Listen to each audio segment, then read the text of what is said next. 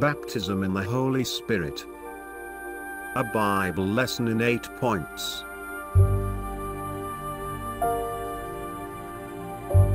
1. Long ago, the prophet Joel foresaw a time when Yahweh would pour out his Spirit upon human beings.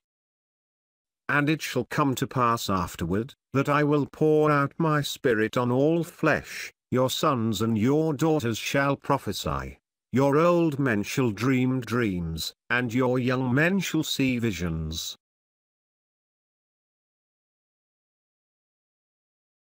2. Later, the prophet John the Baptist bore testimony about Jesus. I came baptizing with water, that he might be revealed to Israel. I saw the Spirit descend from heaven like a dove, and it remained on him. I myself did not know him, but he who sent me to baptize with water said to me, He on whom you see the Spirit descend and remain, this is he who baptizes with the Holy Spirit. 3. Soon thereafter, God first poured out his Spirit upon Jesus at his baptism. When Jesus was baptized, immediately he went up from the water, and behold, the heavens were opened to him, and he saw the Spirit of God descending like a dove and coming to rest on him, and behold, a voice from heaven said, This is my beloved Son, with whom I am well pleased. 4. Following his resurrection, Jesus promised the same Spirit to his followers. While staying with them he ordered them not to depart from Jerusalem, but to wait for the promise of the Father, which, he said, you heard from me. For John baptized with water, but you will be baptized with the Holy Spirit not many days from now.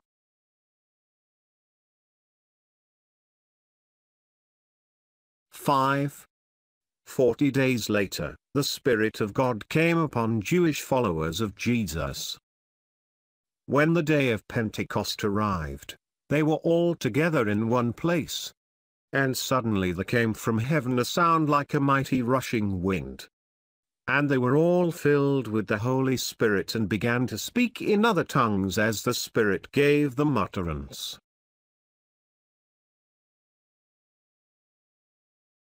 6. Some months later, the Spirit of God also came upon Gentile followers of Jesus.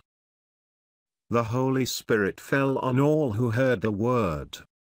And the believers from among the circumcised, who had come with Peter, were amazed, because the gift of the Holy Spirit was poured out even on the Gentiles. For they were hearing them speaking in tongues and extolling God.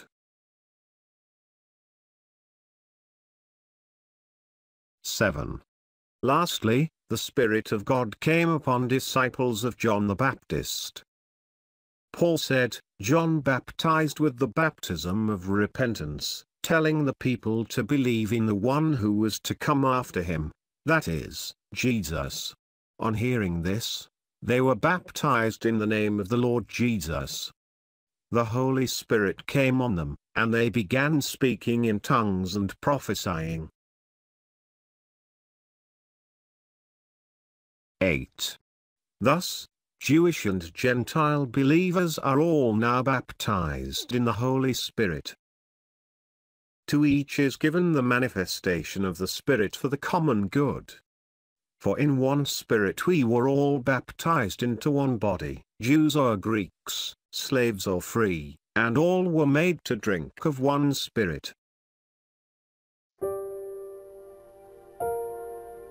God has made him both Lord and Christ, this Jesus whom you crucified.